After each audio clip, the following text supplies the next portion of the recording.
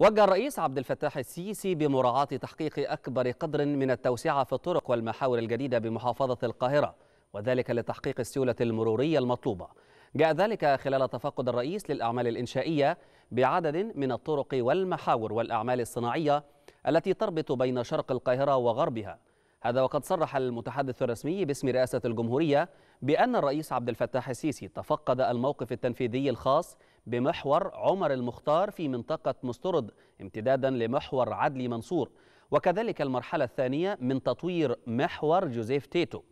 كما تفقد السيد الرئيس عبد الفتاح السيسي استكمال الأعمال الإنشائية في محور شينزو آبي والذي يساهم في نقل الحركة المرورية من محور الشهيد حتى العاصمة الإدارية الجديدة.